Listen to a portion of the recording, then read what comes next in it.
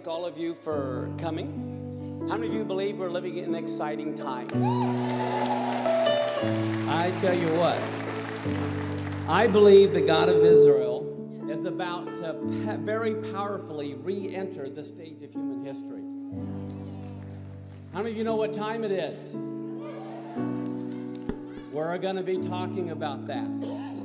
But I have two shofar blowers. Where's my two shofar blowers? All right, there's one shofar blower up here. All right.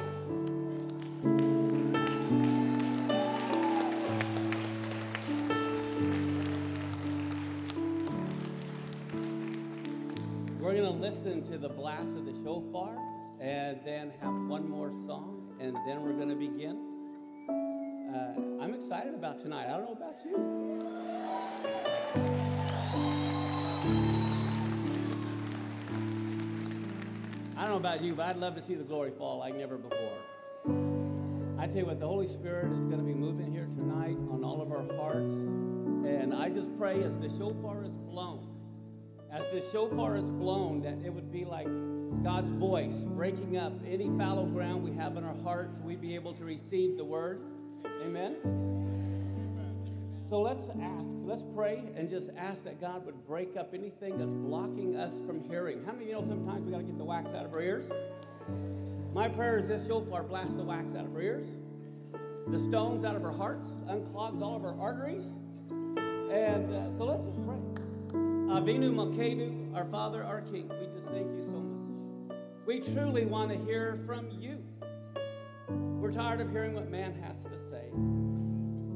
We want to hear what you have to say to us through your word, oh God. Father, I just pray that each one of us would just come before you this evening, Father, with humble hearts, open ears, that we could understand what you're saying to us in the critical time that we live in. And we just thank you for this in Yeshua's name. And everybody said, Amen. Thank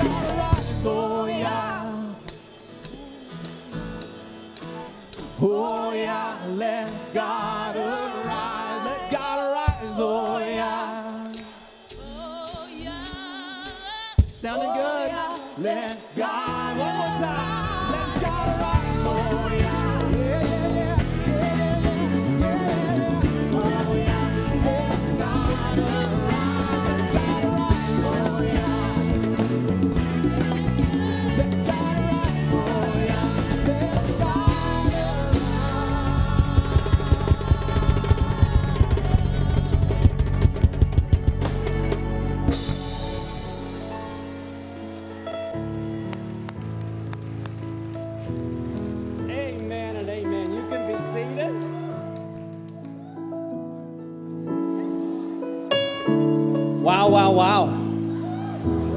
You guys are ready. We'd also like to thank uh, all those that are live streaming from all over the world. Before I came up here, I checked. We have, I think, over 200 cities in 10 nations live streaming us right now from all over the world. So we welcome you and we thank you for coming. For many of you, how many is this your first time ever here? Just I can see a show of hands. Well, let's give them all a big hand. Thank you very much for coming. In case you uh, didn't know, I'm Pastor Mark Biltz, and we meet right here every Saturday morning at 10 o'clock. Sat, not Sunday mornings, Saturday mornings. Uh, we don't own this building, we're renting from another congregation who meets on Sundays.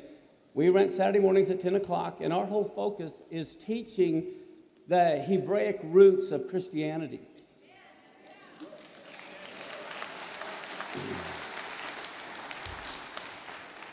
And uh, I'm just so excited for all of you that are here. Uh, it is going to be a fantastic evening. Let me ask you something. I asked you earlier if you knew what time it is. Do you want to be as the children of Issachar who had an understanding of the times, knowing what Israel ought to do? How many of you want to know what time it is? Everyone here is familiar, I'm sure, with Ecclesiastes chapter 3, where it says, For everything there's a season and a time for every matter under heaven. There's a time to be born, a time to die, a time to plant, a time to pluck up what is planted.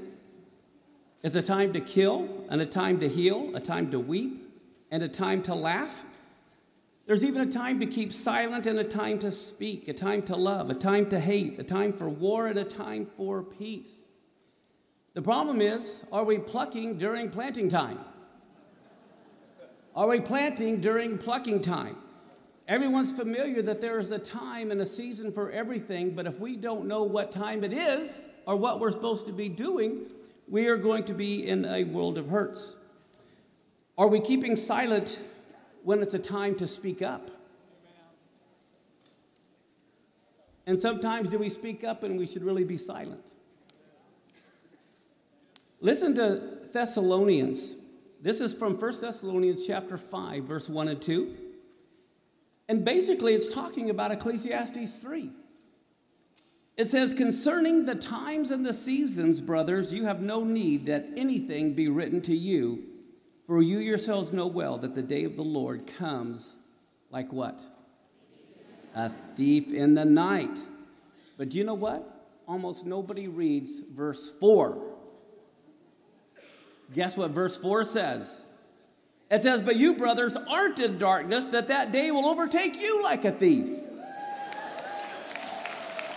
Wow. You mean we're not supposed to be blind and dumb? I mean, we're supposed to know. We're supposed to understand the times. It says right there, 1 Thessalonians 5 4, that we're not to be in darkness, that that day will overtake us as a thief. Why? Because we know the times and the seasons. But the problem is the English language. What does the word times and seasons mean? If you don't want the day of the Lord to come upon you as a thief in the night, then you need to get on the right calendar. This is the only way you will have an understanding of the times and seasons. Many people don't know that God ordained a calendar that was set apart from our pagan calendar as to when he would intersect with human history. The calendar of the nations that the nations use in this world is based completely on the sun only. It's a very accurate scientific calendar. There's nothing wrong with it, and we're in a world and we need to use that calendar. The Muslim calendar is based totally on the moon. But God predetermined that his people were to follow a calendar that was based on both the sun and the moon. Listen to Genesis chapter 1, verse 14 and 15. God said, Let there be lights in the expanse of the sky to divide the day from the night. And then it says this let them be for number one. Why did he create the sun and the moon? Listen to this it was for signs. The number one reason was for signs. And then it says for seasons, days, and years. And so the number one reason God made the sun and the moon was for signs. And when God said they were also to be for seasons, days, and years, he was not referring to this coming winter. he was not referring to December 5th of 2016. What was he talking about? Well, let me start here with this. Now let's go ahead and bring up the first PowerPoint. The word moed. In Genesis 1:14, God said he created the sun and the moon for seasons. Now, when you think of the word seasons, what do you think of? Winter, spring, summer, and fall. That's what most people think of. But the amazing thing is this Did you know in Leviticus chapter 23, when it talks about the feast of the Lord, it's the same word? Now, when I think of feast, I think of a big turkey dinner. So when you see that Hebrew word moed, why did they translate it as seasons in Genesis and the same word as feast in Leviticus? What does it mean? Does that word moed mean fall or food? You know what? The English translation is inaccurate in both places. If you look that word up, the Hebrew word moed actually means a divine appointment. So God has divine appointments based on his calendar when he wants to intersect human history. So think of God having a day timer. And the divine appointments were like Passover and unleavened bread, the Feast of Shavuot, which is known as Pentecost, the Feast of Trumpets, or Rosh Hashanah, Yom Kippur, Sukkot. When it comes to our calendar and the times, like I said, the Muslim calendar is based totally on the moon. Our calendar is based totally on the sun. There's only the Torah calendar. That is what God says that He wants to use for His people. I don't know how many of you knew this, but we, I mean, we celebrate all the festivals. We celebrate Passover. We celebrate the resurrection. But do you know because the church is basically on the wrong calendar, the resurrection was celebrated a month before He died this year? Easter was a month before Passover. Now, how does that happen? It's because we took Easter we put it on the solar calendar. Let me ask you this how many of you think we should celebrate Easter on the Muslim calendar? Well, why would we want to celebrate it on the world's calendar? It's the same concept. We need to keep these festivals on God's calendar so we won't miss the divine appointment. The devil wants to change the times and the seasons, the, the laws. Why? Because the greatest thing he can do to make you miss a divine appointment is to, uh, like, if let's say you're in a restaurant and you're in sales and you have a day timer and you're going to make a, a, a big sale and you're going to meet someone for an appointment and you end up leaving and you forget your day timer and then you go back, but unbeknownst to you, your competitor was there and he goes in and he changed the time of your appointment so you miss it and he goes an hour earlier. Wouldn't that make you upset? Well, this is what has happened. The world has decided to go off the biblical calendar onto a different calendar. And so, so many times we're missing these divine appointments that I want to talk about here. Did you know Moses made everything after the pattern that is in heaven? Remember Moses' tabernacle? God says, I want you to make it after the pattern. What that means is, whatever's happening on earth is an echo of what is happening in heaven.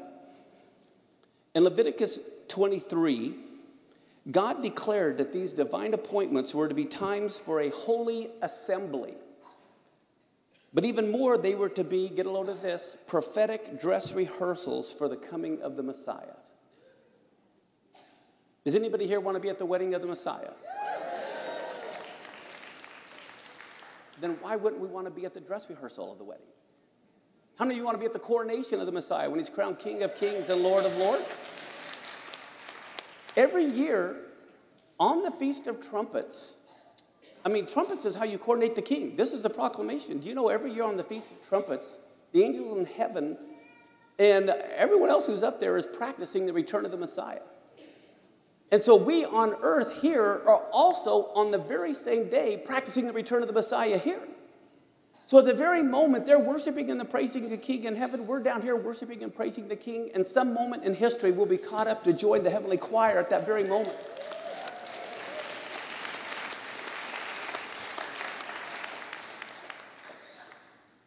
Yeshua died on Passover. He was buried on unleavened bread. He rose on the Feast of First Fruits. Shavuot or Pentecost was fulfilled on Pentecost. let me show you something here. Let's go back to the PowerPoint. They have the Hallel, and it's the Psalms was their hymn book. Many of you are familiar in Matthew 26, 30, where it says when they had sang a hymn, uh, literally it would be the Hallel, they went out to the Mount of the Olives, out uh, to the Mount of Olives.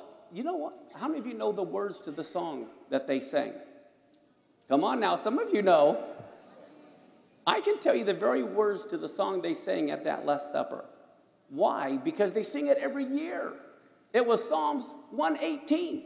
That was the last hymn they sang before Yeshua was betrayed and rejected.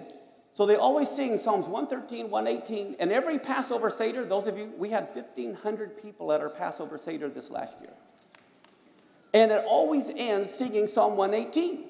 So, Psalms 118, what were they singing right before he was betrayed and rejected? Get a load of this. The stone which the builders rejected has become the head of the corner, and this is the Lord's doing. It's marvelous in our eyes.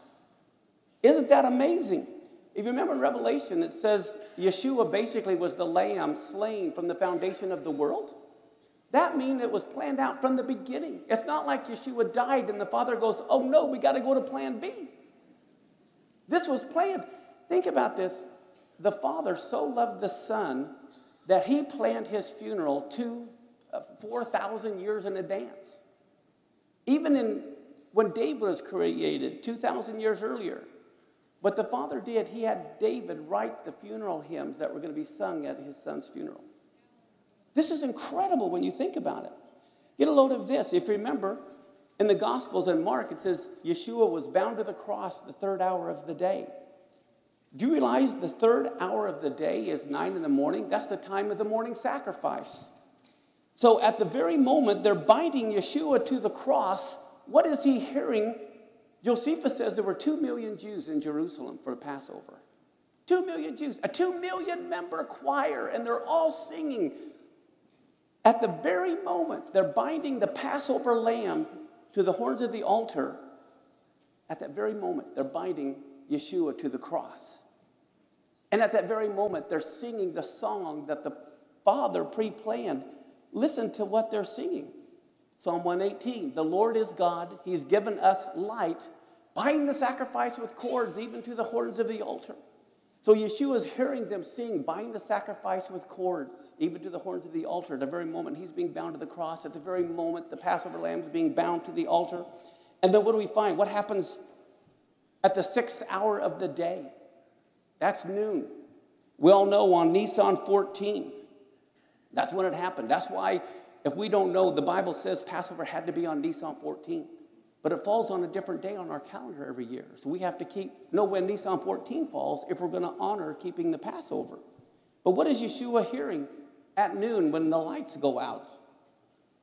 Everyone is singing, The right hand of the Lord is exalted.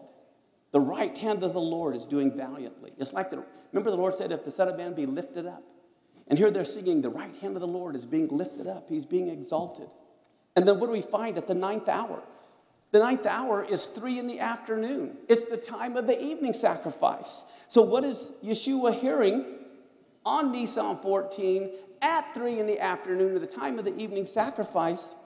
He's hearing everyone sing, The Lord is my strength and my song, and He's become my Yeshua, my salvation.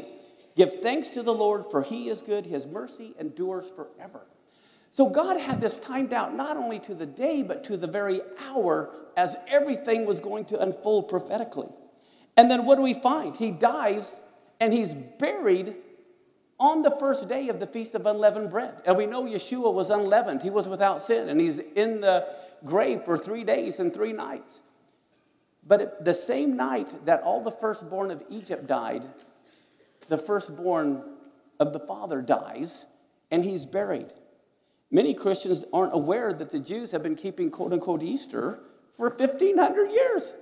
It's the Feast of First Fruits. Every year they celebrate the Feast of First Fruits. This is why Yeshua became the first fruits of the resurrection on the Feast of First Fruits. That's when he rose. And then that brings us to the Feast of Shavuot, many of us know as Pentecost. But the amazing thing to me, again, most believers think Pentecost started in the book of Acts, not knowing the Jews were required to keep the Feast of Pentecost 1,500 years earlier. In Deuteronomy 16 16 and many other places, three times a year, it was known as one of the pilgrimage feasts, all the Jews had to come to Jerusalem for Passover, Pentecost, and Tabernacles. So the Jews were the first Pentecostals. They were. And do you know to this day the Jews still keep the Feast of Pentecost? And I don't know any Pentecostals who do. I'm serious. I, I, you know, I'm just saying that we, we've, because we've cut ourselves from our roots, we've lost, in one sense, what time it is. Now, let me ask you this how many of you believe that the Lord is the same yesterday, today, and forever? Do you? Do you really? Up here or down here? Now, I, this is going to be a theological, mind blowing thing I'm going to tell you. So you better make sure you're correct. You really believe that? Well, get a load of this. The spring feasts all talk about Messiah's first coming. He died on Passover, buried on unleavened bread, rose on first fruits, all these to the very hour of the day. And then Pentecost didn't happen in December. Pentecost was fulfilled on Pentecost. Now, here's the thing if the Lord is truly the same yesterday, today, and forever, if he fulfilled the spring feast to the day of his first coming, he'll fulfill the fall feast to the day of his second coming. Wrap your head around that. But he's going to do it on his calendar, not on ours. And, and, how many of you know the feasts have to be fulfilled in order? You're not going to have the Spirit poured out on Pentecost until he rises from the dead. He's not going to rise from the dead until he's buried. And they're not going to bury him until he dies. The fall feast, the next feast to prophetically be fulfilled, will be the Feast of Trumpets. Do you hear anything about trumpets in the book of Revelation? Hello? The next feast that'll be fulfilled after that will be the feast of Yom Kippur, which is Israel's Day of Atonement when they'll realize Yeshua is their Messiah. And then the next feast is the Feast of Tabernacles, where Yeshua comes back and he tabernacles among men for the thousand year reign. And this is why he said, You will not see me again until you say, Baruch haba b'shem Adonai, blessed is he who comes in the name of the Lord. Acts 3 16 through 18 talks about Yeshua has to stay in heaven now until the restoration of all things. One of the things that needs to be restored is God's calendar. So, just as the spring feast had to be fulfilled in order, so too the fall feasts. And you know what? These sacred assemblies are really God's parties that He's held for us. It's an invitation. You hear in the Gospels, invitations have been sent for people to come to the wedding, and they say, Oh, I don't want anything to do with it. I got to go plant a field, I got to take care of my cows, or whatever it is. But these really are dress rehearsals. In Leviticus, they were called convocations, which means assembly. But the Hebrew word is mikra, and it literally means a dress rehearsal. So, this is why they literally rehearsed killing the Passover lamb every year on Passover because that's when he was going to die. They rehearsed the Feast of First Fruits every year because that's when he was going to rise. Well, every year on the Feast of Trumpets, this is why we want to be here because this is the dress rehearsal for the coronation of the Messiah. Wow, this is exciting. So, the Feast of Trumpets, I believe, speaks of the resurrection of the dead as well as the coronation of the Messiah.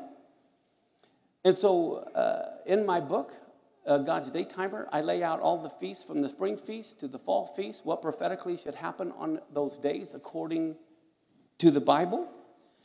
And the Bible says that God declared the end from the beginning. And so, if we want to understand the end of days, we need to look in Genesis, not just Revelation. In Psalms 102, listen to this, verse 16 and 18. It says, When the Lord will build up Zion, that's when he's going to appear in his glory. When the Lord will build up Zion. When did Jerusalem get Zion, or, or when did Israel get Zion back in their hands? 1967. And then what's been going on all this time politically? Everyone's upset because they're building up Jerusalem, all the settlements. That's what they're screaming about. Well, listen to this. This is what it then says in verse 18. After it says, when the Lord will build up Zion, that's when he'll appear in his glory. It says, This is written for the generation to come. You know, in the Hebrew, the word is acharon, and it means this this is written for the terminal generation, the last generation. And so, my question is this look at this. This is the growth of the settlements from 1974 all the way up to about 2009. Look how Zion has been being built up. That's right. This is from last November. Israel approves 454 new settlement homes in East Jerusalem. Look at this one. This one uh, is pretty recent as well. It says Israel's settlement drive is now becoming irreversible. What are we going to do? This is what the diplomats are fearing. Uh, this one here, it says the Israeli government is to allocate 17 million more dollars to help build up the biblical homeland. I tell you what, God is building up Zion, and you are living in that terminal generation where you're going to see the Messiah appear in his glory.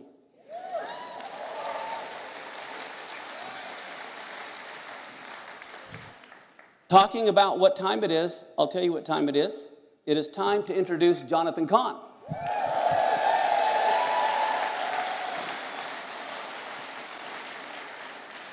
Jonathan Cahn is the president of Hope of the World Ministries. He's the senior pastor. He's the messianic rabbi of the Jerusalem Center, Beit Israel in Wayne, New Jersey. He's the author of the best selling book, The Harbinger, and The Mystery of the Shemitah. His teachings are broadcast daily over hundreds of radio stations throughout the United States and the world and on television. So let's give a big warm welcome to Rabbi Jonathan Cahn.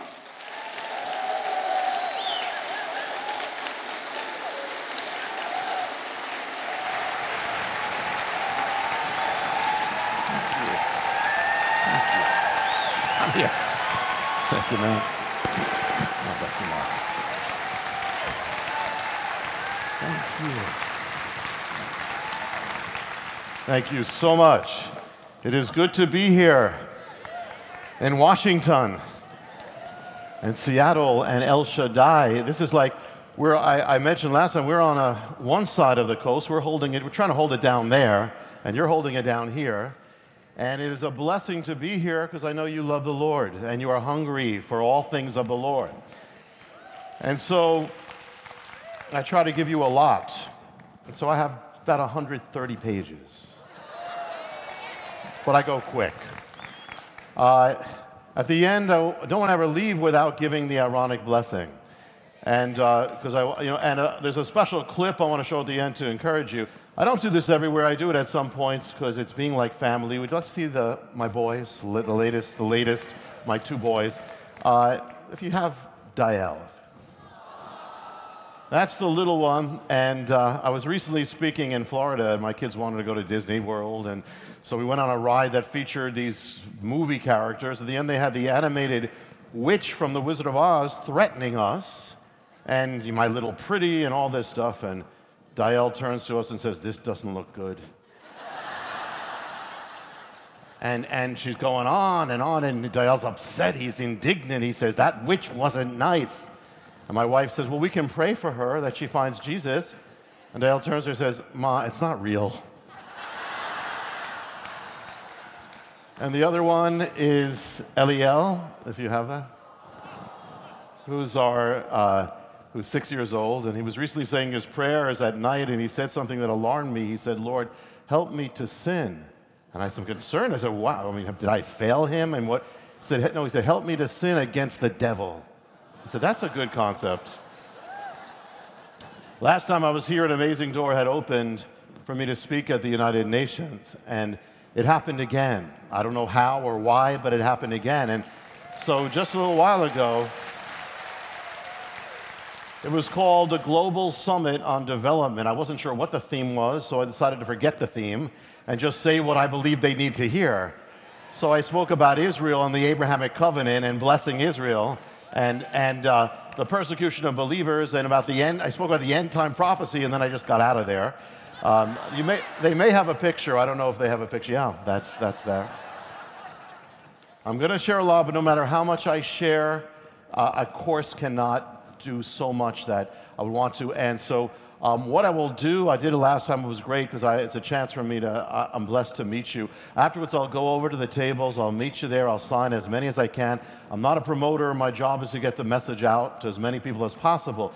They have, so they will have five special resources that will be there tonight. And of course, number one, I think you know, is the Harbinger. And this came out. It's been, I'm going to share some things that have been continuing to happen. The template is continuing, even something in there which you never would imagine was there that has to do with what's happening right now.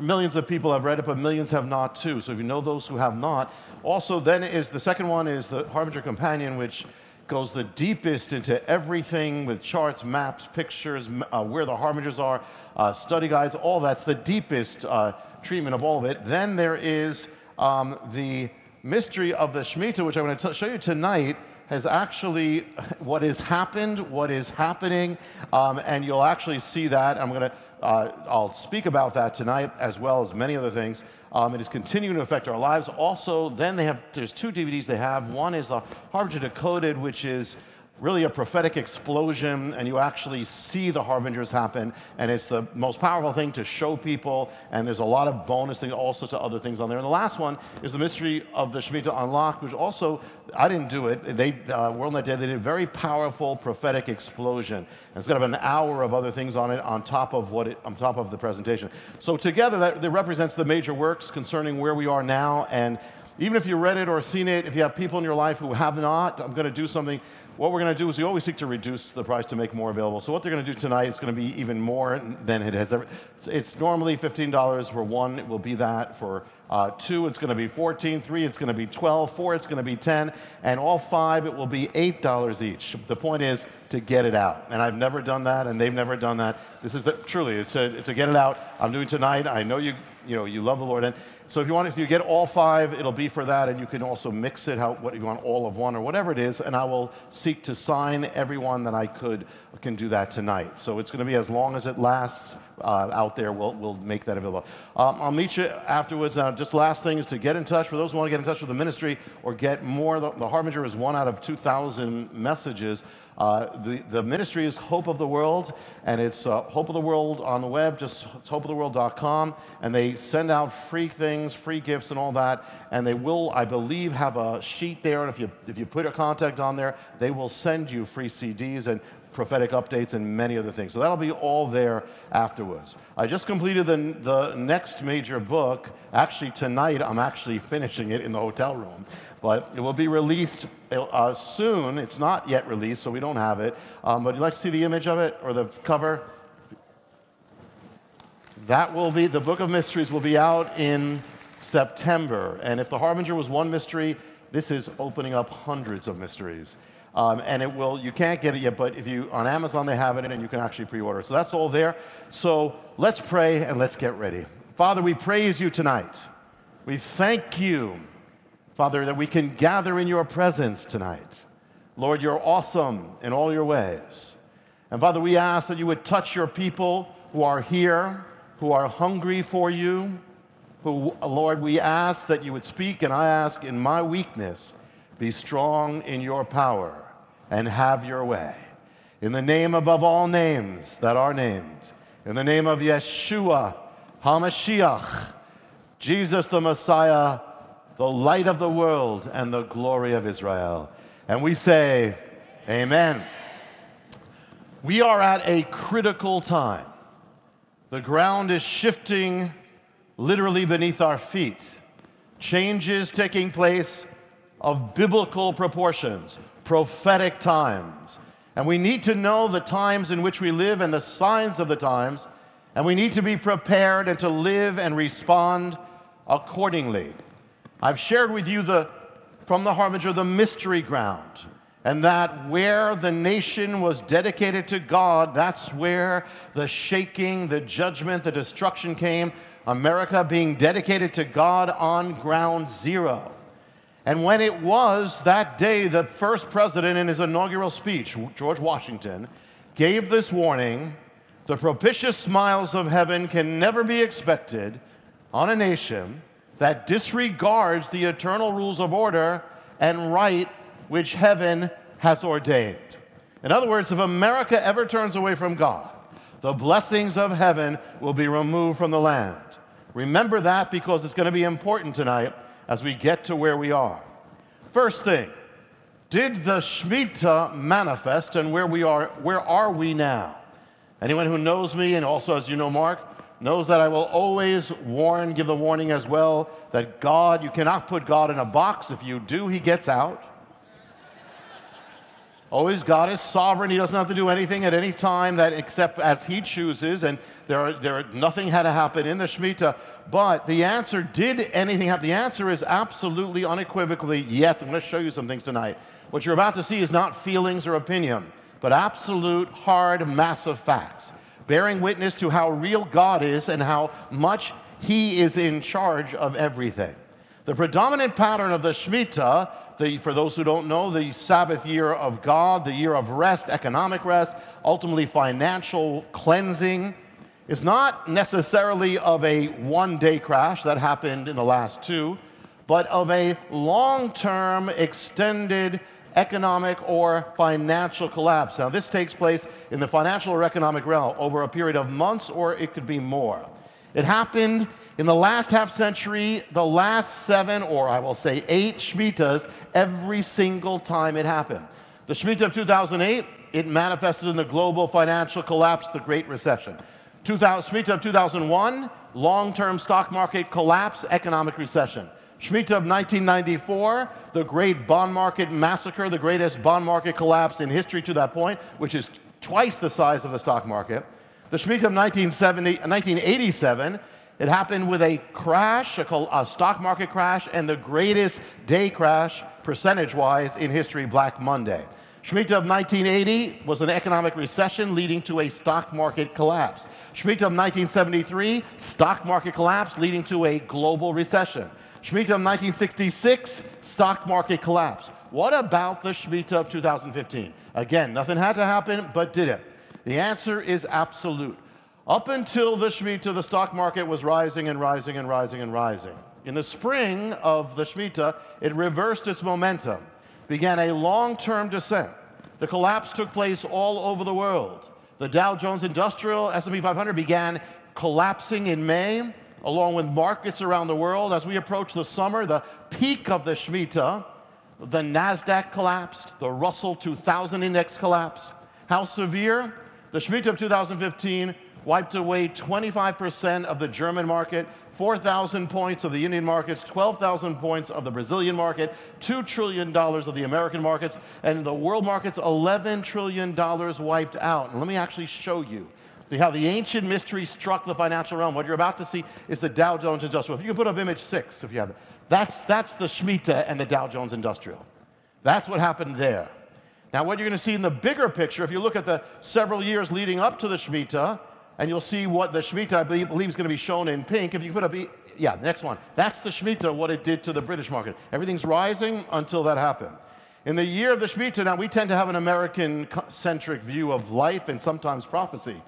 But in the last Shemitah, a change took place. Another nation, it wasn't America that was the center anymore. Another nation had taken over in the years going up to it to become the largest exporter nation in the world. That was, you can guess, China. In the year before the Shemitah began, China supplanted America as the largest trading nation. In the Shemitah of 2015, China was the engine of the world economy. So, did the Shemitah strike China? The answer is powerfully. What happened in the summer of the Shemitah, peak of the Shemitah, the, the Chinese stock market begins to collapse. How much was wiped out? 43%. Almost half in two and a half months which makes it the most dramatic, intense collapse in world history. Then the 2015 Shemitah came to, as it came to the close, the internet was flooded with articles not from Christian sites, but secular sites, with these headlines. If you put up image 17, this was the worst year 2000, since when? 2008. What's 2008? The last Shemitah. Image, image 18. Wall Street records its worst year since, same thing, Shemitah. Next one, Dow uh, the S&P 500, same thing. Another one, tumultuous 2015. In other words, it was the worst year for the stock market since the other Shemitah, it- which is how many? Seven-year cycle. Same exact thing that the Bible says. But it doesn't stop there. In the Harbinger and the Mystery of the Shemitah, it's written that the effects of the Shemitah is not just in the financial realm, but also affect production, trade. Just like in Israel, all these things would either decrease or cease. So, did the Shemitah affect global trade? Image 20. Global trade collapsed in the Shemitah. Image 21.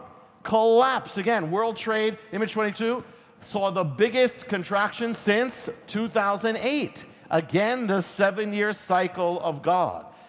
And now they actually put up image 23, and that is a, well, more and more. What you're going to see right now in a moment, there's something called the Baltic Dry Index, classic global indicator of world trade. What happened? What did the Shemitah do to the Baltic Dry Index? Image 25.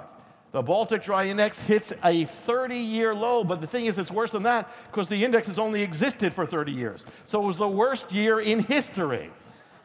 Now, that, that- in history, literally. And so, and literally, it started in 2014. The, the number was, was over 2,000 points. By the end of 2015, the number was 400, collapsed 80%. Commodities, during the Shemitah in Israel, commodities would be left alone, the fruit of the land.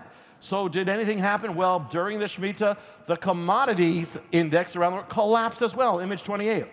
It was the worst year there, if you have it. They don't, but it's the worst year of dry bulk in, as far as I know, in history. Look at image 29, you'll see a graph of what the Shemitah did to commodities around the world. And one of the ways you already know it already affected you is when you go to the gas station, because one of the commodities in the world is oil.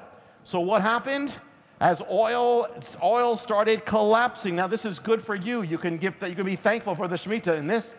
And you see a dramatic thing. If you put up image 30, you see those two pink things. Those two pink areas are the last two Shemitahs, 2008 and 2015. Look what it does to the price of oil. That in each case.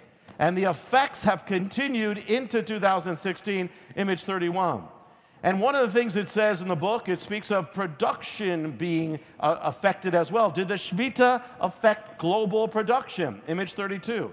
China, the factory of the world, begins to contract. It's the worst time since the, the end part of the last Shemitah. And then and goes on, image 37.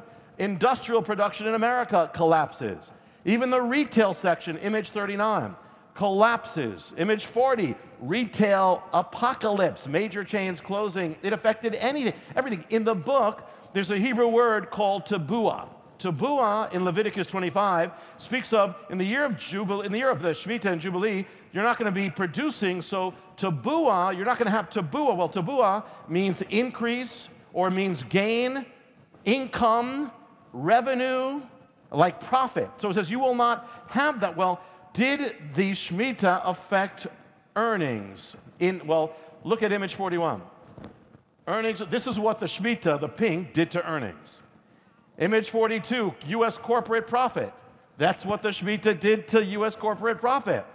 The Shemitah of 2015, get this, was the worst year for money investment of any kind in not seven years, not 14 years, in 78 years, which takes you back to the Great Depression. It takes you back to 1937, the last part of the Great Depression, which was a year of the Shemitah. And so here, it, I mean, it's a mind-boggling things. Now, what about, what about it, day crashes? Now, you didn't have to have dramatic day crashes. A lot of people are focused on that. But did the Shemitah of 2015 produce any of the great world day crashes of the stock market? The answer is, of all the greatest crashes in world history, listen, 20% of them were produced by the Shemitah of 2015. Image 44. 20% of them, one out of every five, was in this year. And not only that, the, the peak year of the Shemitah, or the peak time of the Shemitah, as you know, is Elul, the month of Elul going into Tishri. That's the month of nullification. That's, that this year was in the summer, going into the beginning of September, but basically mostly the summer. Well, the, the greatest crashes, those 20%, were not only produced by the Shemitah, but all in the month appointed by God as the month of nullification. All of that. Remember, if you remember what happened when, actually, when the summer came, everything started going crazy across the world. And I want to show you right now, the pink now is not going to represent the Shemitah, but just one month, Elul, in the Shemitah, if you put up image 47. That's the month of Elul within the Shemitah, the Dow Jones Industrial. This is what, now, what happened as well, if you put up image 50, you had some of the greatest crashes in history all during Elul of the Shemitah. Image, image 51, image, image 52. Hundreds of billions of dollars were wiped out in that one month appointed by God. It also produced the greatest intraday stock market crash in the history of the world or, stock, or Wall Street. Now, I want to show you one more thing before we move to something else, but just to give you a little taste of this. I'm going to show you a little chart that's going to show you the top 10 crashes, day crashes in world history. Image 53. Now, you don't have to look at, you don't have to see all of what's in there, but those are the top 10.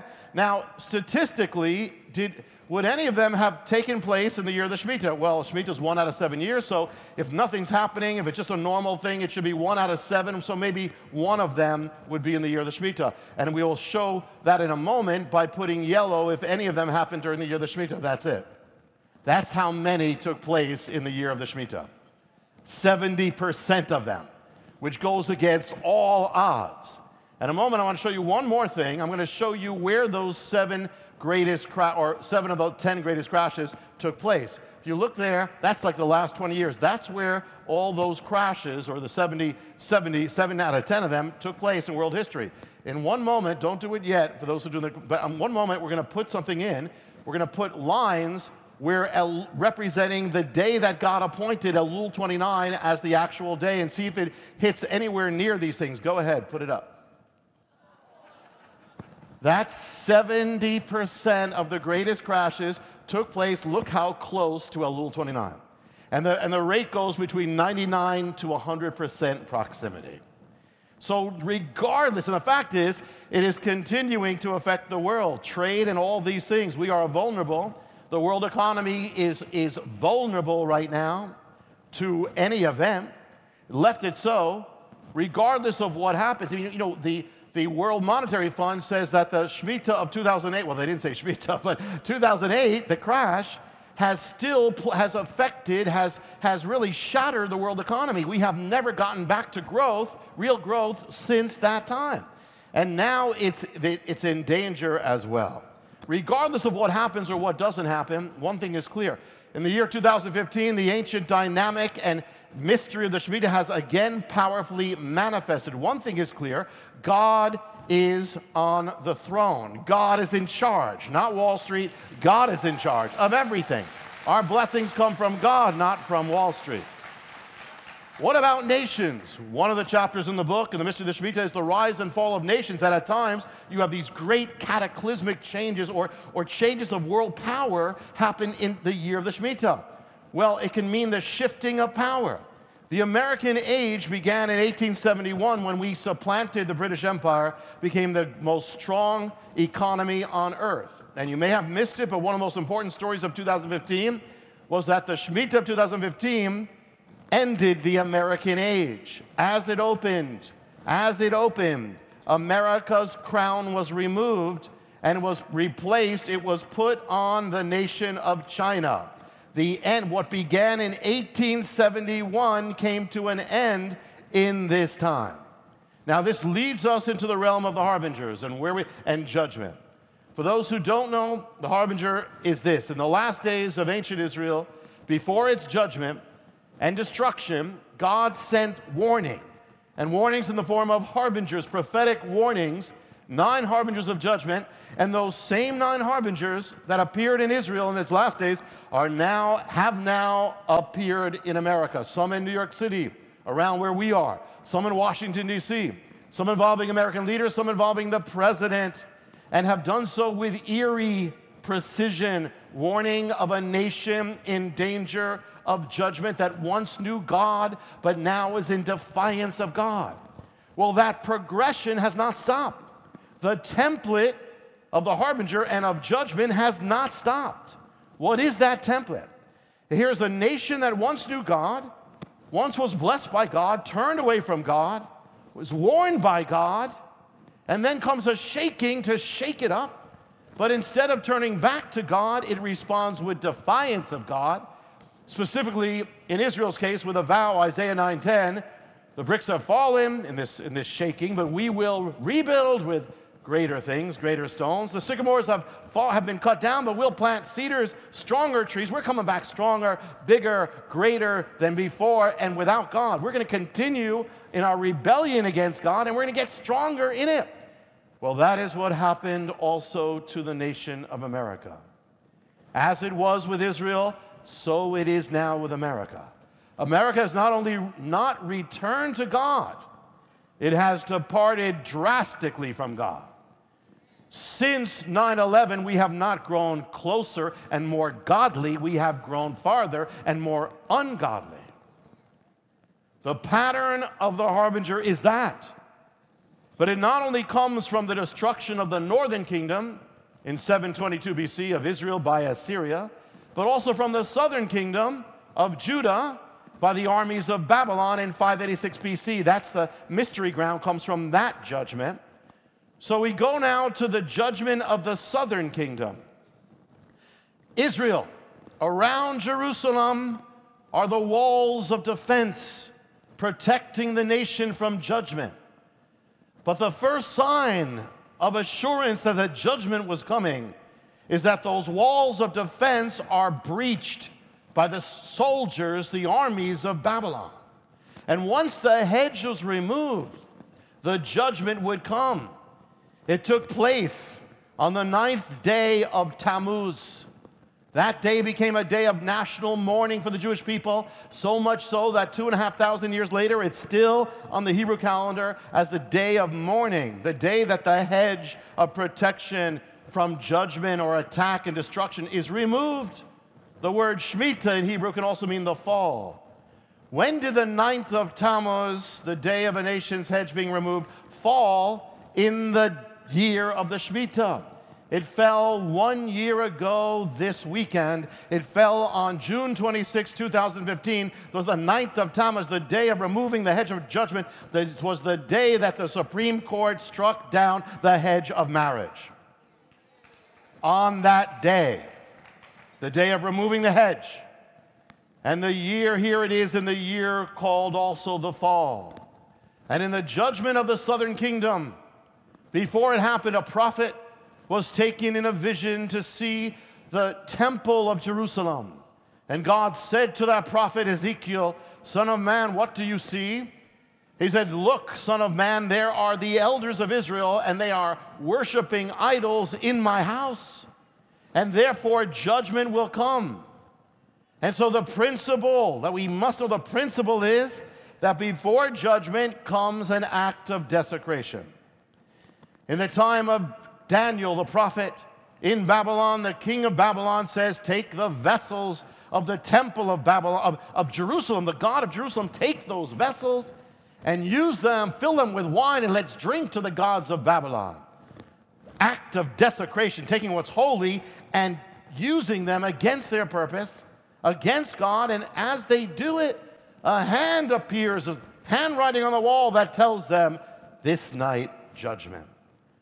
Desecration precedes judgment. Well, just as holy as the vessels of the temple of Jerusalem is the vessel that God created of marriage. And so on that day, a year ago, this weekend, we performed an act of desecration, a holy vessel of God. And what happened when that happened? All across America, it was celebrated by the lifting up of the colors of the rainbow And I say, because it's not said, is the rainbow doesn't belong to man or a movement. The rainbow belongs to the living God. It is a sign of God. It's holy, it's sacred that He created. So they use the sign of, a, of God, uh, one desecration, to celebrate the other desecration. And then the final one, the president gives the order to light up the White House in the colors of the rainbow. You can put it up. Making, here it is, the, the White House is the highest house in the land. It's like the palace of the king of Babylon. And now the handwriting's on the wall in the colors of the rainbow. The White House becomes a vessel of desecration. And I ask, how much more can we do in the face of God to provoke him? God is merciful. God's heart is salvation, but he is not mocked forever. So here we are at the anniversary, and what has happened? Interesting. As we approach that same period, a shaking comes on the world. England, Britain, leaving the European Union. We know the Bible speaks in the last days of a revived Roman Empire. Some say England was not part of the Roman Empire, but it was, much of it was, but it was always on the edge, just as it's been on the edge of the European Union. It threatens the breakdown of the global order. Now, whether it leads to that breakdown or whether stability is restored, what happened on Friday caused the greatest global stock market crash in world history. Global, greatest. In one day, $2 trillion were wiped out. Trillion. For those who know the mystery of the Shemitah, the climactic month of the Shemitah is Elul. And the last, in the last Shemitah, 2008, well, actually, in the last Shemitah of 2015, three of the greatest world crashes happened in that month of Elul. But in 2008, it wasn't just the year of Elul, the, year, the month of Elul, it was Elul 29, the day that God appointed for the wiping out, came the greatest Wall Street crash in history. It's still the greatest.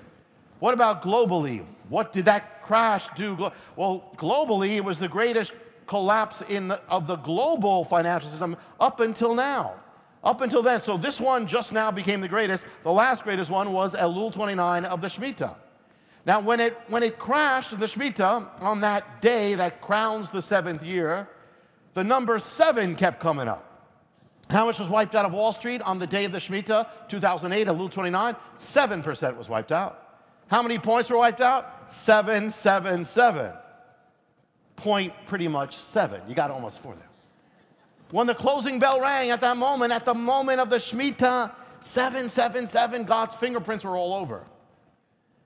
And the interesting thing is when you take that moment, 777 Wall Street, Shemitah, Elul 29, and go back 777 in time, interesting thing because could it actually give, a, give the timing of God? You go back seven, go back seven biblical years, it takes you to September 17th, the closing bell of the other greatest crash in history, on the same day, Elul 29, seven years before of the Shemitah, that alone. But then if you go back, you got seven years, go back seven days. The seventh day takes you to a day that's very significant, which is it takes you to September 11, 2001. takes you to 4 p.m. If you go back seven hours, it takes you to 9 p.m., the 9 a.m., the time of the attack. If you go, if you go further, go back seven and seven minutes, it takes you to the exact minute of the attack. But what happens if you do the opposite and go forward from that moment of 777 and go forward 7777. What happens? If we take that closing bell, the mystery of sevens forward in time, 7777, from that crash, if you go seven years, seven months, seven weeks, seven days, it takes you to last Friday, the day of the greatest crash. The day the global order was shattered. That exact day both ways. The greatest crash the other way, greatest crash this way. This, by the way, it's the first time I've ever shared that. In the last days of ancient Israel, there were three abominations that led to its destruction through which judgment comes. One was the offering up of their children as sacrifices to the gods of Baal and Moloch. They offered up thousands of their children. And people say, You can't compare it to America. You're right, because America has offered up millions. And it began in 1973. 1973 just happened to be the year of the Shemitah, the fall. And this, in the summer of this Shemitah, when everything was happening, it was exposed that people are actually trafficking and getting money and profiting from baby parts. Did that stop our funding of it? Not at all. In fact, the people who exposed it, they were the ones judged by the state. The next abomination that brought judgment was that of sexual immorality, perversity. We've already seen that. But then there was a third, which in Hebrew is called shikutz. Shikutz literally means abomination, the abomination, but it also means the idol. That's why when the Bible speaks about the abomination, desolation, in Hebrew that's saying idol at the same time. In the last days of Israel, one of the signs preceding judgment was that of idols appearing throughout the land, false gods, the images of across the land. In the same summer that America struck down the order of God, something appeared in New York City on the Empire State Building. Was an image. You can put it up. What is that? That is an abomination. That's an image. What you're seeing is an image of a false god, undoubtedly the largest image of the false god in, a, in the history of planet Earth. It was the foreign god Kali, formed by projectors projecting light onto the Empire State Building. Interesting because they're projecting light to create the image of Kali, who's the god of darkness. Woe to those who put light for darkness, says the Bible. A civilization that calls evil good and good evil. Kali is also the god of death and destruction now over New York City. If a civilization turns away from God, it turns to gods of death. Undoubtedly, that's how the worship of Baal came to Israel. First, there's obviously the voice of tolerance be open, just add Baal to your worship of God. And that's exactly how it happened because they were actually combining it. But as the worship of Baal gained strength, when it reached critical mass, everything changed. It was no longer a call for tolerance. Now, the initial tolerance was just to get Baal in. But once Baal was in, now it changed to a war on God and to stamp out every vestige of resistance. No longer was it tolerance, it was now about wiping away anyone and anybody who held true for God. It was there in Isaiah when he said, They woe to those who call evil good and good evil. Because when you call, when a nation calls what is evil good, it will call what is good evil. In other words, if you sanctify the profane, you will profane the sacred. Every step taken to champion sin is matched by another step to delegitimize God and you, his people, to marginalize you, to mock you, vilify you, persecute you, prosecute you, ban you. So every step taken by American culture to glorify what is immoral is matched by another to denigrate the people of God. Has America grown more tolerant towards such innocent things as nativity scenes? No. No. Sees them as dangerous. They have to be wiped out of public places. How about something as dangerous as the Ten Commandments? Has to be taken down. It's dangerous, wiped out. Believers are seen as dangerous. See, tolerance for immorality always ends up being becoming intolerance for morality. It's never anything goes. It's only Baal goes. It's one or the other. So Elijah says, Choose this day whom you will serve. If Baal is Lord, serve him, but if God, then serve him. You can't have both. It's no accident that at the same time, when there's a voice saying you cannot speak, you cannot say this is wrong, at the same time on television, God is openly mocked now. Messiah is openly blasphemed on television. What has happened since this ruling one year ago? The ruling forced government workers to sanction what the Bible says is a grievous sin. A woman government worker said, I can't put my name on that. I won't. So she refused. What happened to her? She was thrown in jail. The question may be asked where were all the other Christian government workers who did put their name on it? What happened? Thrown in jail for not going along with that which was just before not legal. Some say, well, she's breaking the law. Well, so were the apostles. When the Sanhedrin said, You be quiet, and they said, Well, if we're going to serve you or God, you, make, you, you decide which should we go by. So were the first believers when they were told, Worship Caesar or go into the lions. They said, We'll go with the lions. Between man's law and God's. So the believers in the Third Reich, when they hit Jews, those against the law, they chose God laws. God. Interesting, though, if you remember in California when same sex marriage was not legal, a number of government officials broke the law and issued licenses. Strangely, none of them were put in jail. No one ever called for them to be put in jail. But when a Christian woman says, I can't go along with it, they put her in jail, and the White House says it was right for her to be thrown in jail. So it was in the last days of Israel. When, when the judgment came in the jail, were in jails were righteous people, and the jail was Jeremiah. It's already happening. Christian business owners have been driven out of business, lawsuits, fines. The government is increasingly disassociating itself from Christians, which means the government will become increasingly anti Christian. It was said early on the religious rights, rights of religious freedom is not going to be affected by this. The fact is, as soon as this was passed, it became obvious that it would.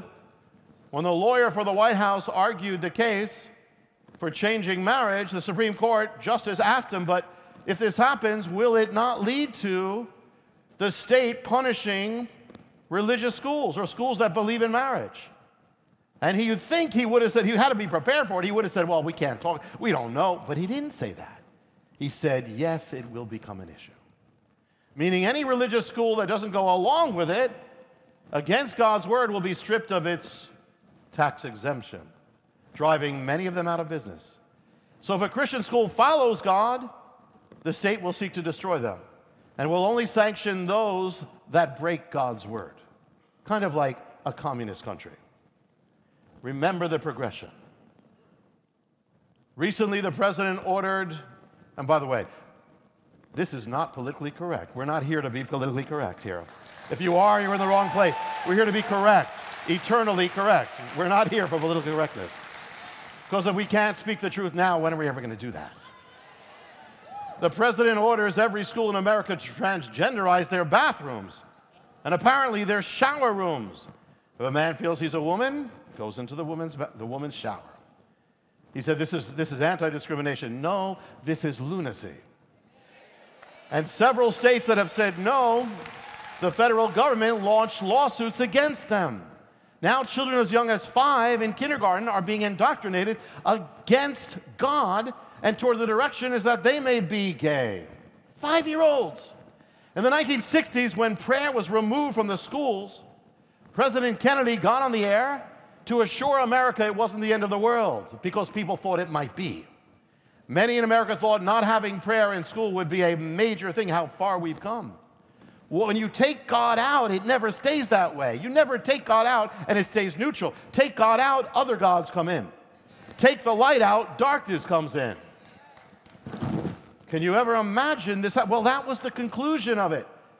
Remember when Sunday was the wonderful world of Disney? On television, family entertainment, children's entertainment. Sunday was the day families would come home from church. Disney represented family friendly entertainment, often based on children's stories, classic fairy tales. Remember something called the family hour? Big issue in the past that 8 to 9 p.m. has to be safe for children and families. Recently on Sunday night on ABC, which is now owned by Disney, during the family hour, 8 to 9 p.m., there was an episode of a program called Once Upon a Time, based on classic fairy tale children's characters Little Red Riding Hood, Snow White, Dorothy, Wizard of Oz. One Sunday, recent Sunday night, the program ends with the scene in which Dorothy from The Wizard of Oz is lying asleep under a spell from which she cannot be awoken except by true love's kiss. The scenario is taken from Snow White, Sleeping Beauty, where the princess is awakened by the prince's kiss. Only now there's no prince. Now a woman approaches Dorothy, and the woman is Little Red Riding Hood. And the woman bends over her instead of a man to kiss the woman, and this is broadcast all over. It was foreshadowed in a recent Disney movie called Maleficent, where instead of a prince, it's a woman, and kissing the sleeping beauty and saying the subtext is you don't need men, men are disposable. You can have a woman instead. And so, interesting because Maleficent means evil and she's shown as good. So now Little Red Riding Hood is kisses Dorothy, and she wakes up. But she doesn't just kiss her, she makes out with her. They are presented now, Little Red Riding Hood, and did you ever imagine? You'd ever see Little Red Riding Hood and Dorothy depicted as lesbians making out with each other on television? What part of hell came up with that? Could you ever have imagined that? And that's just the beginning. And then this Friday, as we approach the anniversary of this date, President Obama announced the first national monument to homosexuality. He's making the Stonewall Inn a national monument. He directed the National Park Services to search out for hundreds of sites celebrating the movement to promote homosexuality for consideration as national sites. So we are witnessing here monuments of America. Interesting, because monuments, you have monuments to America's foundation all over that were marked by the Bible or by the cross or by the faith in God, and they are being removed. And what's coming in its place? This. Monuments to the Ten Commandments struck down. Monuments to sin raised up. Crosses taken down. Celebration of sin raised up. When Jeroboam led Israel away from God, he said to them, he made two golden calves and said, These are your gods, Israel, who took you out of Egypt. What was he doing? He was rewriting history. Why? Because you want to rewrite the future, rewrite the past. That's exactly what's happening. So he became the first president to enlist the nation in that cause. So we are to celebrate Stonewall. What exactly is Stonewall? It was the place in which the modern agenda of homosexuality that is now threatening the gospel itself was begun. What was Stonewall that we are to celebrate? It was a bar owned, a gay bar owned by the mafia, a bar for drag queens, transvestites, and male prostitutes. We are to celebrate it. America's new glory, monuments. The mafia apparently would blackmail people who went to that bar for money. The police apparently were being paid off by the mafia, but apparently weren't getting the extortion money. So it seems it wasn't even about the other thing, about vice. It was about they, they started, they came down on the bar, they raided the bar on June 28th, which is around now. That's why all over the world there are gay prides, prides, pride parades about this. Now, all over America, to celebrate, the police begin arresting the mafia, staff, customers, but then the patrons gather around the police and violence breaks out. The police are inside the bar. The crowd begins throwing garbage through the windows lit up on fire. The police reach for hoses to put out the fire, but there's no water. And someone begins pouring lighter fluid into the, into the bar that the police presumably would be burned alive. That is what we are celebrating. That is what the president says we are celebrating while the government punishes Christians for observing God's commands. Woe to those. As we approach this year anniversary, what has happened in California right next door? California is generally a sign of what's coming. The California state government has passed a law that saying that school, the school system, including private schools, colleges, has to go along with the promotion of homosexuality Originally, they said, but religious schools are exempt. That's how you get in. But now, are, the bill has just passed by the California Senate, stripping the exemption, saying Christian schools have to go along now. And if you don't go along with it, you will be stripped of any funding credits or anything. Further, it opens the door that anybody comes there, if they want to sue the school, the school will lose and will be driven out of business. Effectively, threatening to wipe out every Christian school in California. This is where this is heading. And now we come to a presidential election. We have a choice that involves risk in any, every direction. It seems that America has already rejected those who held clear biblical stands, and even Christians did. I wonder if that's judgment. And on one hand, you have there's one who says he will make America great, okay, but without a return to God, you cannot be great without returning to the God that made America great. These Because if you say we will be great without that and we'll continue on our road, you're, what are you saying? You're saying Isaiah 9:10, we will rebuild and become stronger than before. We don't come back. There's not salvation in pride, but in repentance and humility. People don't realize something. When I wrote The Harbinger several years before, one of the people in its pages is there. I won't tell you where. Donald Trump is in The Harbinger. You can find it. He's there. I won't say where. We must pray that he will come to a real spirit of repentance in God. And there are hints, we hope. On the other hand, the alternative represents a party and a spirit which, at its last convention, presidential convention, actually booed God. If that one gets in, she'll undoubtedly appoint a Supreme Court justice that will mean that every case concerning God, his ways, and you as people will be ruled against you. And at that point, we don't need now another activist president for things to fall. The ball's already rolling down the hill. All it takes is a president who won't stop, the, stop it, and it's going to go faster. If I asked you which person made this statement, Vladimir Lenin, Joseph Stalin, Chairman Mao, Fidel Castro, it's this deep seated religious beliefs must be changed. The answer is Hillary Clinton. Deep seated religious beliefs must be. How do you say that unless you're God? How do you overrule God like that? Why? She said, so abortion can expand. The days ahead are going to be interesting, people of God. As we come to the close of the Obama years, someone who was also in the Harbinger, on one of the anniversaries of 9 11, he read from a psalm they, in his speech there on 9 11. But that particular psalm was very interesting because it speaks about the person who's speaking it. The president spoke it, and it speaks about the one speaking it, and the words it says is, I am a Mofet. What is that? Mofet, the one who speaks it, I am a Mofet. It's translated differently in different translations, but the word means a sign. I am a sign. President speaking. I am a sign. But Mofet means a prophetic sign. In fact, it means a portent sign. It actually means a sign of judgment, so it can be said, I am a sign of judgment. And the word also means harbinger, as if Obama was saying, I am a harbinger. Now, before we bring this home, something to share as, as of God's sovereignty. Because with all this, God's purposes still move forward. There was a man, an African minister, named Robert Mawire. He would be used to affect the history of Israel and the world. And I'm going to share that in a moment. I heard about him. I mentioned him at certain points where I was speaking. I had no idea, but at the time I mentioned him, he had a dream. In the dream, God was having him take a test, but he didn't know the answers of the test. He failed. Then in the dream, God showed him a book, and he was told in the dream, You failed the test because you didn't read that book. He had to read it to pass the test. It was a real book. He never read it, he didn't know what it was about. The book he saw in the dream was The Mystery of the Shemitah. So he was then trying to reach me, and I'm speaking about him.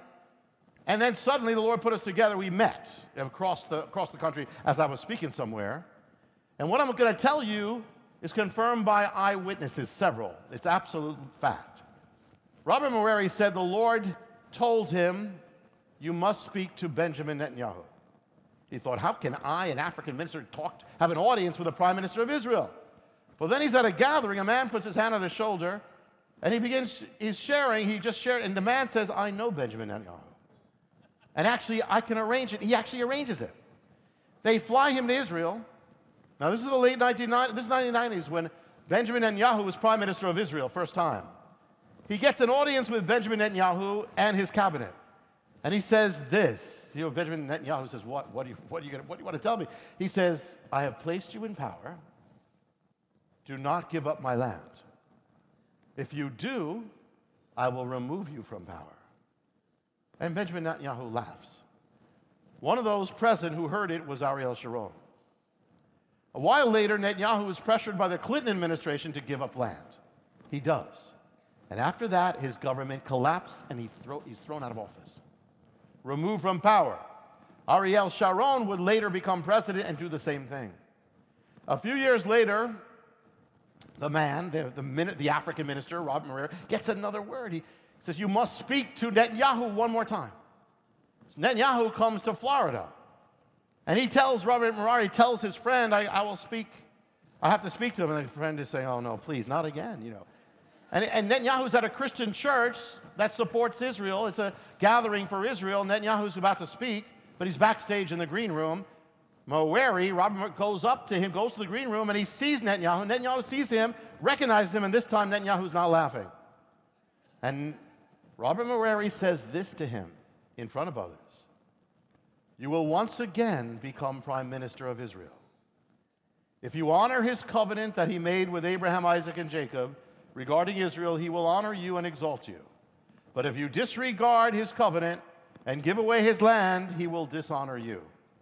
Be strong and of good courage, for unto this people you will divide an inheritance of the land, which I swore to their fathers. He added, Do not ever negotiate the land to give away the land for peace. He said, God is not done with you. Years later, Obama comes to power. Soon after that, Netanyahu comes to power. God puts him back in power, according to the prophecy. And if you notice, this time he's been strong. And the president and administration of America has been pressuring him. They don't see, they don't have the best relationship. Hoping in every way he's going to be removed from power, and it looked like he was going to be, if you remember. CNN was saying he's, he's gone. Netanyahu, they're all, all the liberal media saying he's gone. And then all of a sudden they went, they blacked out, they became silent. In the middle of the election, they stopped saying anything because all of a sudden, miraculously, Netanyahu was winning. And so finally, Netanyahu got on and said, Well, nobody's going to say it. I'm going to say it. I've just won the election. So he was put back in power. Now he's in line to become the longest serving prime minister in the history of Israel. But the story, you won't hear it behind the, the news, is the prophecy. Netanyahu knows it. But there was something else said to him in that prophecy that came true. The prophecy came true and something else was said. It said, You will be prime minister again at a critical time in history. And this, listen, it was said, You will be the prime minister of Israel for the restoration of the tabernacle of David.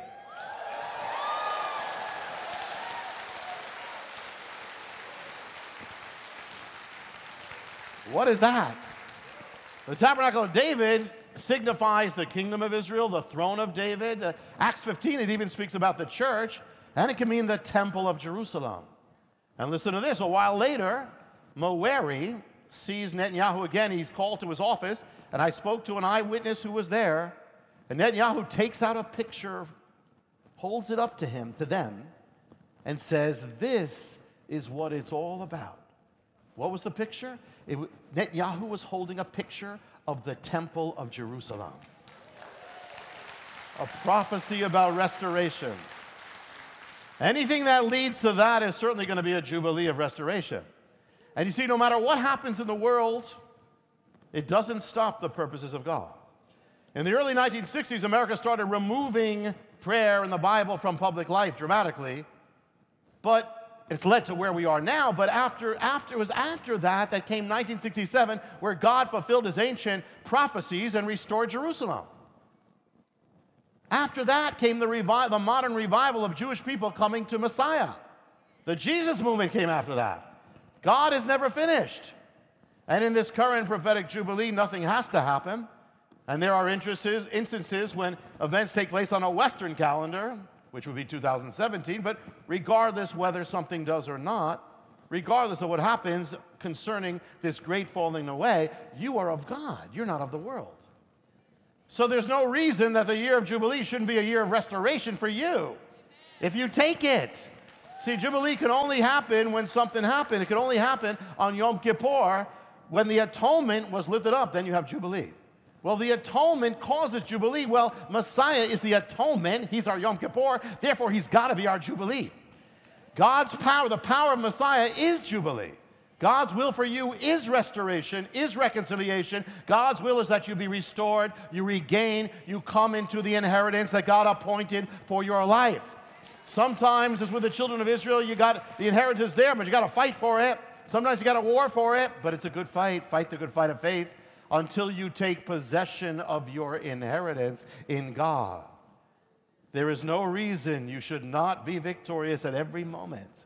Because in Messiah, you've got the power of freedom, reconciliation, taking, receiving what God gave you, being set free. Believe that power, and you will. It'll be a jubilee. A last thing before I bring this home. I came to the Lord, and I'm the least likely person to come to the Lord. I really was. I was an atheist, a Jewish atheist in high school. I won't go through the whole story, but I was the lead of the rock band. I was the least likely person. And I only came to the Lord, I'm just going to skip the deals, but I only came to the Lord because I was literally hit by a locomotive train. And I won't go into that now, but that might explain some things. It says Jews need signs, some Jews need locomotive trains. So I knew then, this is very, this is how smart, I knew then it was a good, wise thing to give my life to the Lord. Because I didn't know how long I had. I didn't know how to do it. Nobody was leading me. But I remember from Hebrew school, God met Moses on the mountain, Elijah on the mountain. So I found a mountain. At night, I ascended that mountain to the mountaintop. There, I found a flat rock. I kneeled down on the rock, and there I gave my life to the Lord on that rock. Years later, I returned to that mountain. On the anniversary of me coming to the Lord, which is also my birthday, won't go into that. It was night. I went up with a flashlight, a Bible, and a shofar, and a talit, Hebrew prayer shawl, and I, I had a great time with the Lord. The next day, I go to the congregation, and the last person online comes has a present for me. It's a framed gift. They bought a framed drawing in a store, and they showed it to me. It's a drawing of a man on a mountaintop with a shawl blowing a shofar. I said, That's weird. That was me last night. I said, Really? I said, Yeah, I went to the mountain. I found a mountain where I came to the Lord. I said, Really? She says, Tell me where it is. I said, Oh, tell me what mountain. I said, I don't know what mountain. I just, I just know it's the place where I came to the Lord. I don't know the name of it. Says, Describe it. I describe it. I tell her the, where I could, what I could. She says, I know that mountain. I said, Really? She said, I live at the bottom of the mountain. I said, Really? She says, Do you know what that mountain is? I said, No. She said, That mountain is dedicated to Satan. I said, Really? Well, I got saved on the top of it.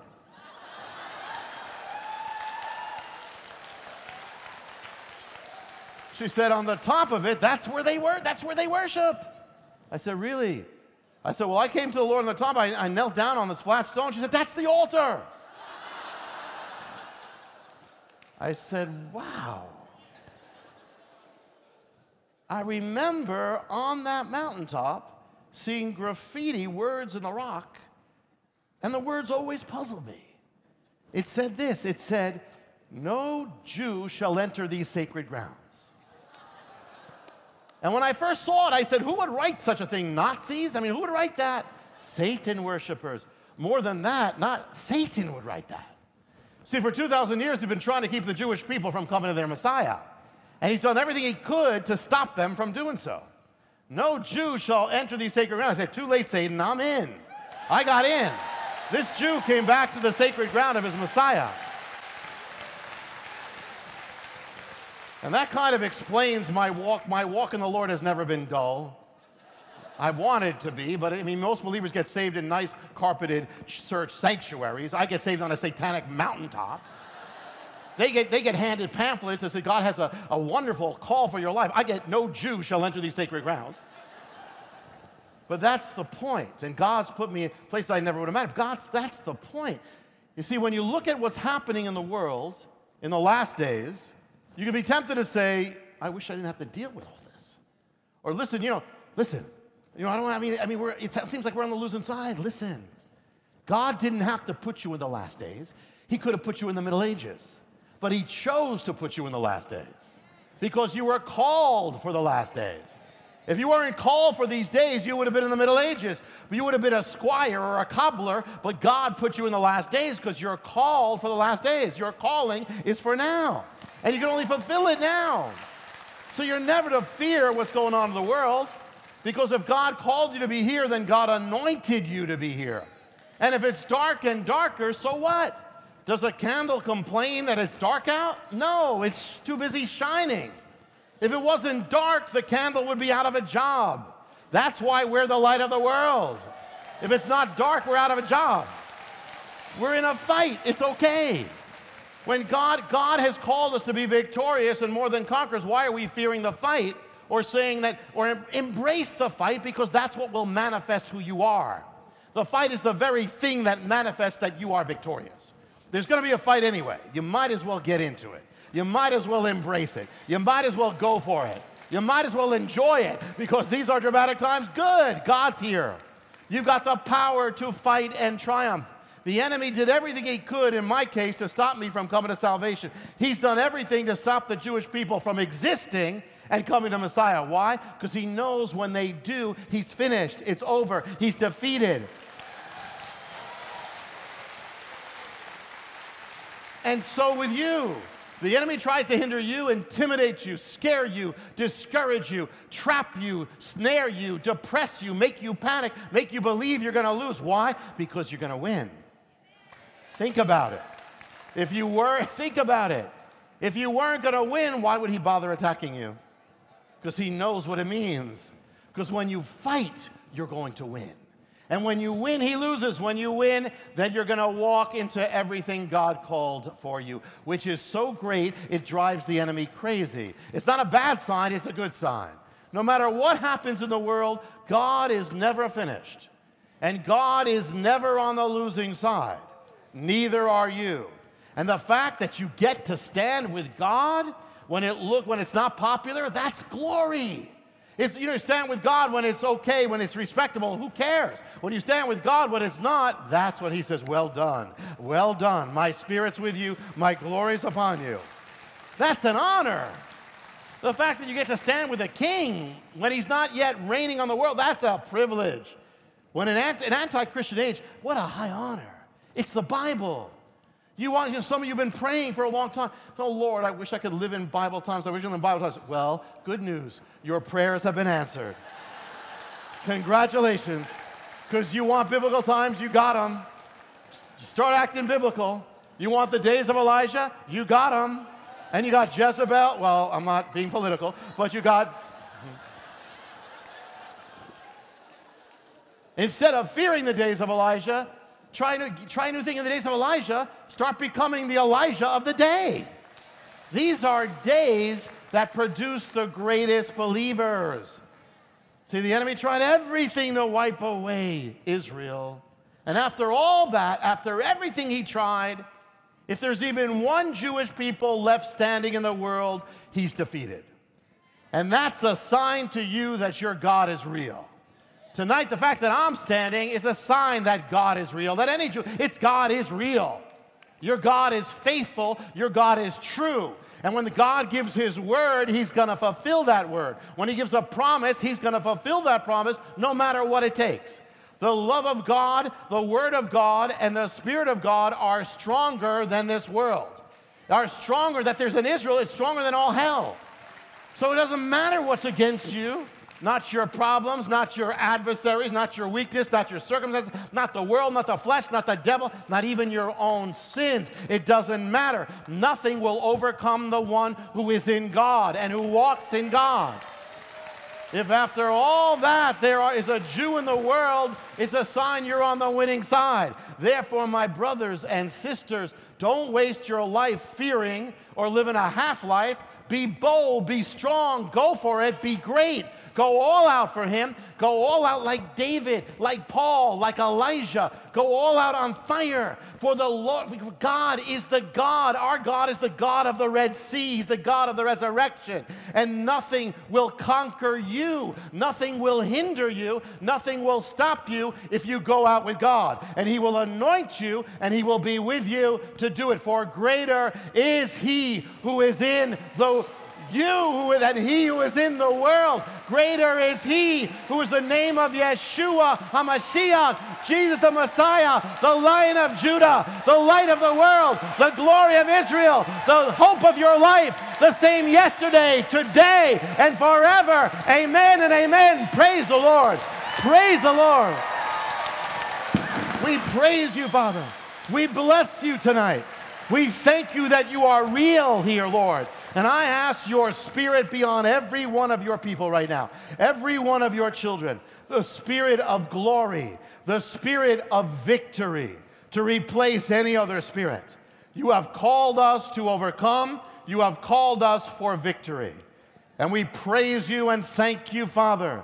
We thank you for all you have done. We thank you that your name is El Shaddai, the majestic, the powerful, the all providing one. Lord, I ask for anyone who's here tonight who doesn't know you, they would come to know you. They would come to be born again, your child. No matter who they are, no matter what the sin, we're all in the same boat. But Lord, I ask that you touch your children. Father, we this day we make a commitment that whatever, anything that's in our life that shouldn't be, we rule it out and we will take a step even tonight. Before we go to bed, a step saying, no more. And Lord, whatever is not in our life that you've called for our life, something new to become that man, that woman of prayer, of victory, of breakthrough, of love, that we will take a step even tonight to say yes and rule it in before we go to bed. Have your way, Lord. And we ask, Lord, have your way in the days to come. We don't fear it. Lord, we just we embrace the fact that we can stand strong for you. And we embrace the fact that a light that shines in the dark is so much more powerful than the candle in the day. Father, we want to be those lights. So help, we want to be those Elijahs. We want to be those, those Pauls, those Marys, those Esthers. We want to be that one you called. So, Lord, help us to walk forth and live in a new spirit of confidence, of assurance, of victory, of triumph, of, of absolute certainty of the joy and the outcome you have given us. Lord, we praise you and bless you tonight and thank you for all things. We praise you in the powerful name of Yeshua, Jesus, Messiah, the glory of Israel. And all those people say, Amen. Praise the Lord. Praise the Lord.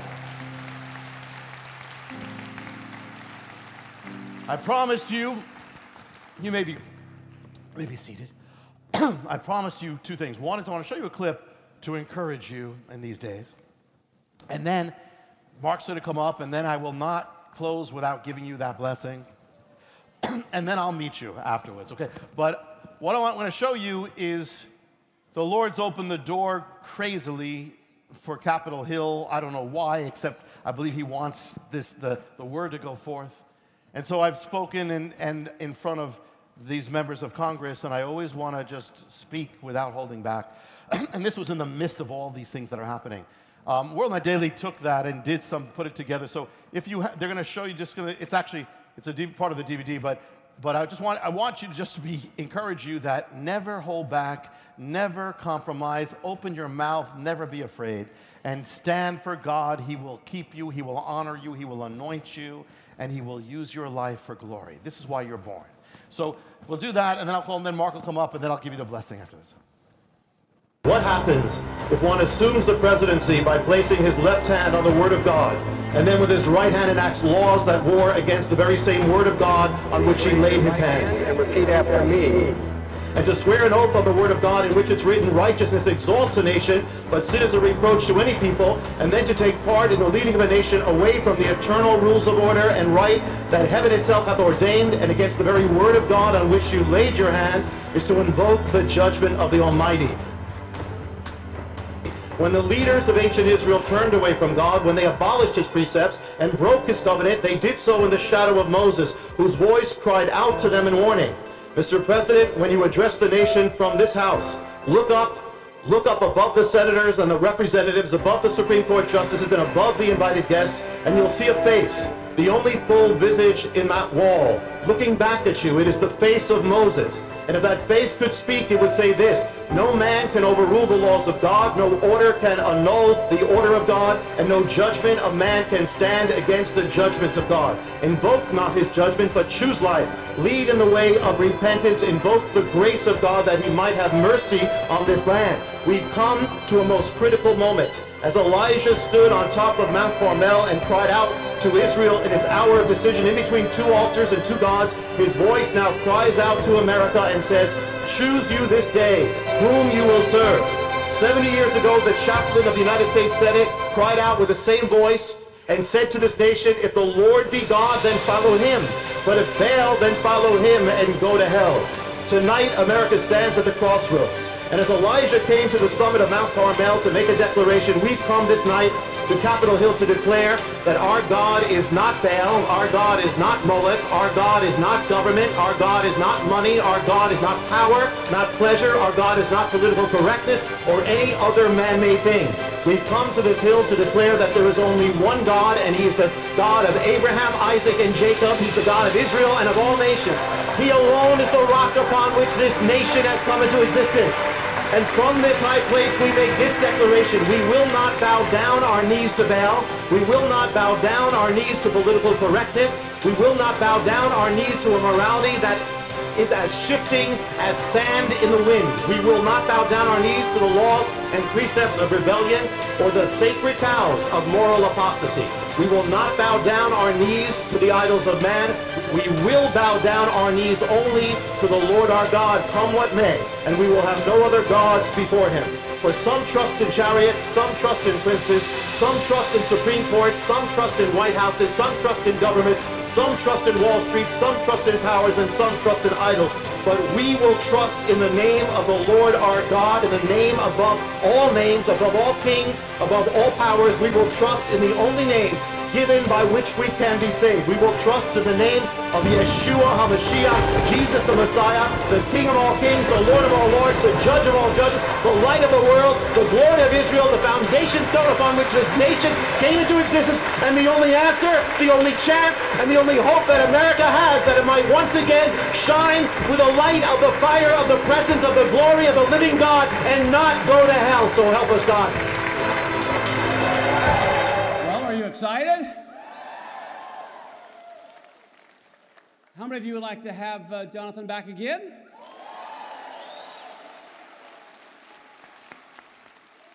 Well, for those of you uh, that have never experienced anything like this before, we want you to know we meet here every Saturday morning at 10 o'clock. And we look at the Bible like you've never seen it before, like you've never heard it before. And one of the things we're going to do, we're going to close uh, with a song. And then after that, uh, Jonathan's going to do the priestly blessing. And then uh, we're going to corral him. So you can't harass him in here, you can harass him at the book table. Now, if you want to have events like this, uh, it always helps if we can uh, pay the speakers and the different things that are going on. So each one of you should be sitting on an offering envelope. And uh, if you're going to make out any checks, you can make it out to El Shaddai. Uh, we'll just kind of be filling that out while we're singing. And then after he says the priestly blessing, we're not going to be passing any baskets. We just ask. We have like two boxes as you're walking out there. There's a couple of boxes at the doors. If you could just drop those in. Uh, the offering box, that would really help us to continue doing these type of events. So uh, let's stand. I'll close in uh, prayer, and then we'll have this closing song, and then we'll have Jonathan say the priestly blessing. Avinu Malkeinu, our Father, our King. We just thank you so much for everything you've done for all of us this evening. Father, I pray you keep people safe as they go home, that you would just bless them, and as their head hits the pillow tonight, Lord, that you would just speak to their hearts. Fill them with dreams and visions of you and of the times we live in. We ask this in Yeshua's name. And everybody says, one more thing I just remembered that I'm so excited about. The film that is coming out in September, God's Daytimer, will be closed captioned for the deaf.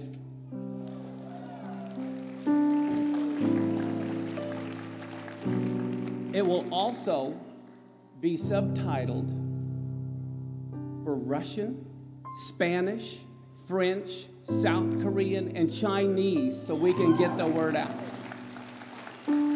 So thank you so much.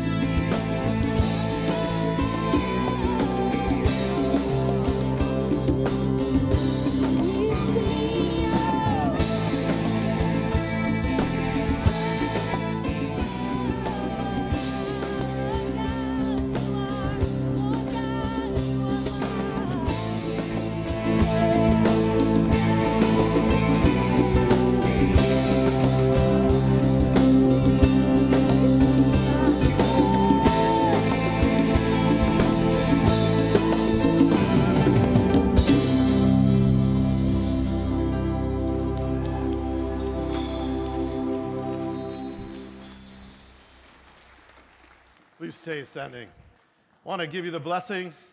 And this is the blessing, of course, you know this is from Numbers. God Himself wrote the words to it. So you know there's something about it. He says, When you do this, you're placing my name upon them. And so this was given to God's people. And it was given, it said, the son, Aaron, his sons will give this. And in the temple of Jerusalem, this was given to the people of Israel by the sons of Aaron. That's my line that I'm from, and you are the people of God. Together, you are grafted in. You are the citizens of Israel. So receive this as from God, not man. Lift up your hands and close your eyes to receive. And when I share this, it never comes out the same way. I have no idea how it's going to come out. I take it as the Lord blessing you. So take this as from God's throne and heart.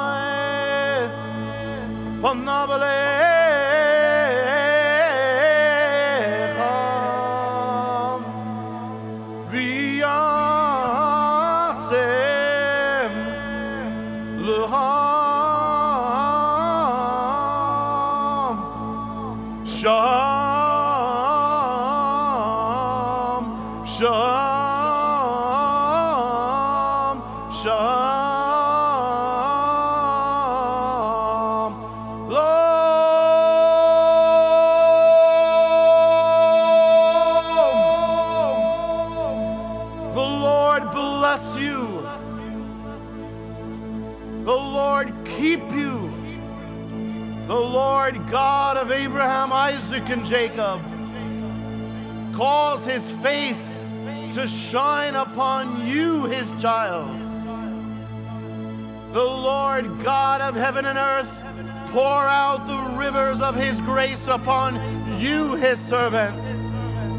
And the Lord God, the eternal, the I am, who was, who is, and who is to come, the Lord lift up the glory of his countenance upon your life, upon your home, upon the works of your hands, upon all that he has called you to do. The Lord, the Holy One, give to you his shalom, life, fullness, peace, all the blessings of his love. B'Shem Yeshua HaMashiach. In the name above all names that are named in Yeshua, Jesus the Messiah, Or Haolam, the light of the world, Uchvod Yisrael, the glory of Israel, the Ari, Yahudah, and the lion of the tribe of Judah.